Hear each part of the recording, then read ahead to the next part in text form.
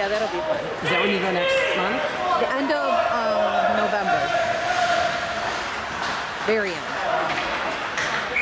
Oh, that, um, What? that tournament going in Philadelphia. Oh, it was awesome. Very good. I hear, Yeah, I've heard it did real nothing but great things about it. Yeah. It was You guys have a good time. Best hockey ever Yeah, it was fun. what everybody tells me. Very, very good Over hockey. it's really the best hockey you Well, because All the kids on our team were junior kids. They played for junior teams. They were really good. The kids that were at his level and he played goalie. He didn't